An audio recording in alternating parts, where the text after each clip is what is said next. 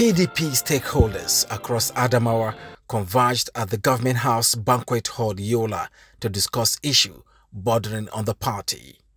The meeting centered on the forthcoming local government elections and its guidelines. To that end, the state PDP chairman, Barrister Tahir Shehu, said the party, as always, is ever ready to face the polls and shall abide by the timetable made available by ADSIEC. Election is local and elections start at the ward level and this is a local government election. It will, all elections will commence from the ward and we have local government election very soon. That is why we feel this meeting is very, very, very significant and important for us to call all those that matters, all our critical stakeholders to come.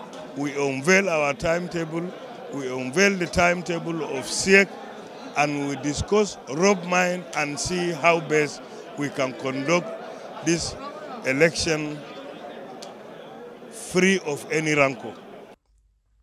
He revealed that the party has earmarked March 9th as date for the resignation of any office holder who intends to contest, while pleading with stakeholders to play politics within the law and not overheat the process.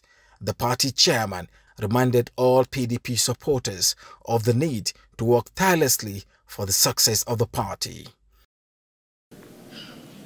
By our timetable in the party, Sales of nomination forms will commence on the first day of February and it will last on 7 February. Submission of completed forms will be done from 8 to 10 February 2022. Screening of aspirants will commence on 12 to 13 February.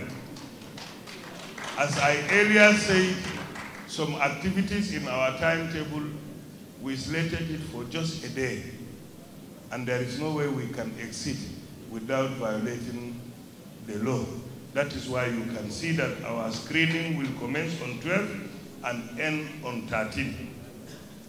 Display of screen aspirants will be done on 14 February 2022.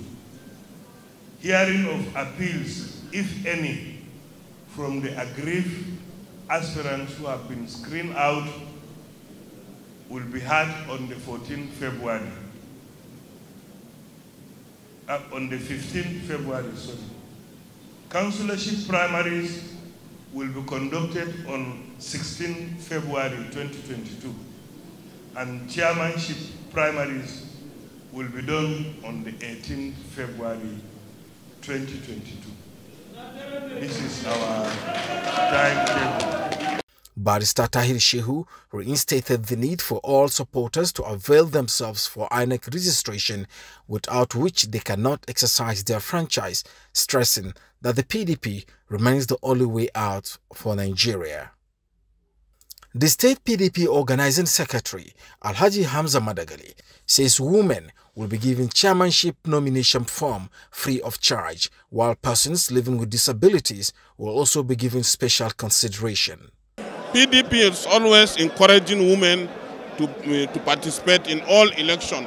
That's why in our party, uh, we, we make sure that we put it in our constitution to make sure that women's all forms for women are free.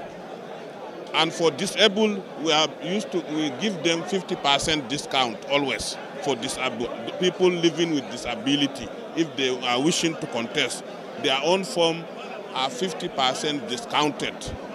Uh, but for women are free. Only administrative charges are, they are responsible to pay. But all the issue of form are free for women. Contributing, Deputy Governor Chief Crowther Seth appealed for more brotherliness as the party worked towards ensuring the success of the party in all elections. The party, going by its constitution, is set to adopt either consensus or indirect primaries across the state.